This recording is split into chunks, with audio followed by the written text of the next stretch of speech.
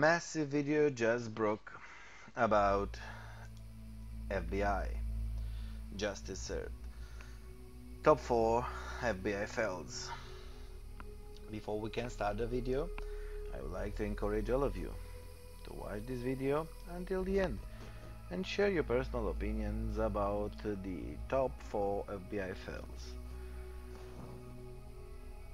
By sharing your personal opinions in the comment section down below, you'll help us create an amazing and vibrant community here on YouTube. I thank you very much for that. Number one, its Philadelphia office was burgled. On March 8, 1971, eight members of the Citizen Commission to investigate the FBI, a civil rights and anti-war group that was against the Vietnam War, broke into FBI's office in Philadelphia and made off with as many as 1,000 classified documents. The documents revealed the FBI counterintelligence program, COINTELPRO, a clandestine operation meant to fractionalize and generate mistrust among civil rights groups and to destroy the credibility of activists like Martin Luther King. As hilarious as it sounds, the activists didn't break in with anything elaborate just a crowbar and a man who knew how to pick locks. The operation was well planned though. In FBI fashion, the activists surveilled the agency's building and monitored the movement of its agents. One of the members, Bonnie Raines, the wife of John Raines, who was behind the whole thing, even posed as a college student and interviewed some agents for a non-existing school project about job opportunities for women in uh, the FBI. Number 2. Agents forgot a classified document in a suspect's home. On September 24, 2010, the FBI raided the homes of seven activists in Minneapolis and Chicago. In the phone of couple Mike Kelly and Linden Gawboy, they took documents, books, computers, cell phones, and a passport but left behind their operation order. The order included information about the planning of the operation along with surveillance photographs of the suspects and interrogation questions. It did also contain information regarding suspicions that, that two of the activists, Meredith Aby and Jessica Ray Sundin, had tied to the Revolutionary Army Force of Colombia, FARC. The suspicions arose because the activists had attended the peace summit in FARC's control areas in Colombia. The couple did not immediately find the classified documents since it was among their own papers scattered across the floor of their home. They just dumped all the papers inside a filing cabinet and only found the document while going through the cabinet seven months later. Number 3. An FBI agent crashed a stolen Ferrari during a joyride. In 2008, the FBI recovered a 1995 Ferrari F50 during a drug bust in Kentucky. The vehicle had been reported stolen in 2003 and belonged to a Motors Insurance, which had already paid out the claim by its original owner. The FBI informed Motor Insurance about the find but refused to release the vehicle.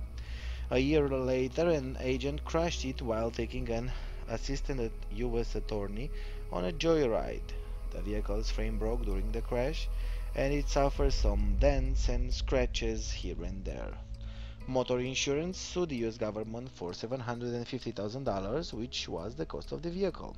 But the Department of Justice turned down the litigation on the grounds that the FBI was not liable to pay for damages because the vehicle was under detention at the time of the crash. Number 4. FBI Director called Poland a Nazi accomplice. FBI Director James Comey came under fire in 2015 after he claimed that some Poles aided the Nazi during World War II. In an option article written to the Washington Post, Comey stated that he always sent new FBI intelligence analysts and specialist agents to the Holocaust Museum because he wanted them to see how humans abuse their powers. He claimed that the Nazis were aided by uh, good people who turned against their neighbors. The good people uh, here were the Hungarians and the Poles. In his words, in their mind, the murders and the accomplices for Germany and Poland and Hungary and so many many other places didn't do something evil. They convinced themselves it was the right thing to do, the thing they had to do. Well, dear friends, thank you very much for watching our amazing video. As always, in this second part of the video, I will encourage you to share your personal opinions in the comment section down below about the top 4 FBI files. By sharing your personal opinions in the comment section down below, you'll help us ensuring create an amazing and vibrant community. Please share your opinions about its Philadelphia office was burgled, about agents forgot a classified document in a suspect's home, about how an FBI agent crashed a stolen Ferrari during a joyride, and about uh, the FBI director who called Poland a Nazi accomplice. By sharing this information, you'll help us ensure and create an amazing and vibrant community here on YouTube, and I thank you very much for that. The FBI. Not always the FBI, it's right. Not always the FBI will bring you the correct information on the public eye but always the FBI will look for the benefit of the people, for the benefit of the United States as a whole. So,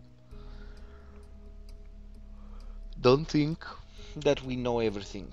Don't think that if um, somehow in our mind that the FBI did terrible things or accused people of terrible things, they did it in their own interest.